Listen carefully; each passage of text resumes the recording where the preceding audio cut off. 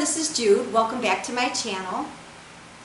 Way before the latest health craze of fasting, the practice of religious fasting was common among Christianity, Judaism, and Islam.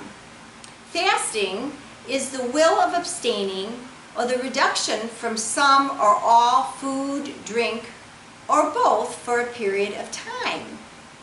An absolute fast or dry fasting is defined as abstinence from all food and drink for a defined period of time. We as Catholics are required to follow the rules for fasting and abstinence, which are, number one, every person 14 or older must abstain from meat and items made from meat on Ash Wednesday, Good Friday, and all the Fridays of Lent.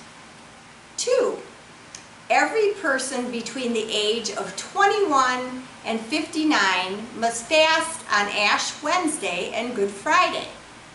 And that is consisting of one main meal and two smaller meals and no snacking. Now why do we fast?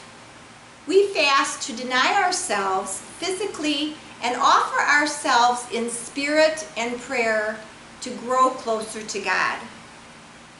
Ways to fast include giving up favorite foods or pleasures, even refraining from social media screen time.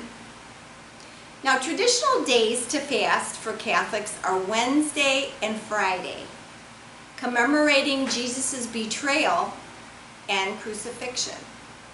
Now it's always a good idea to plan ahead.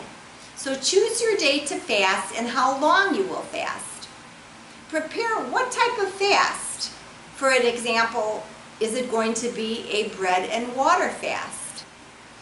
Eat less and receive the most holy Eucharist more. Do not work for food that perishes, but for food that endures, for eternal life which the Son of Man will give you. For on him the Father God has sent his seal, which is John 6:27. And Pope John Paul taught Jesus himself has shown us by his own example that prayer and fasting are the first and most effective weapons against the forces of evil. And that's Matthew's Gospel 4, 1 through 11. As Catholics, we should always fast at least one hour before receiving Holy Communion, except for water and medicine. Why? Because we embrace the invitation toward becoming more aware of the greatness of the gift of the Eucharist as our true eternal nourishment. Remember, if there are medical reasons, you are naturally excused from having to fast.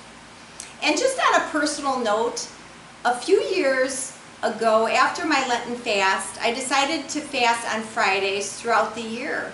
And it has been a blessing offering intentions for the sick, the souls in purgatory, the church, and respect of life. Now, do you fast? Have you fasted? And what is your practices of fasting? I'd love to know. If you haven't subscribed to my channel yet, friends, I would love it if you hit the red subscribe button and like and comment on this video.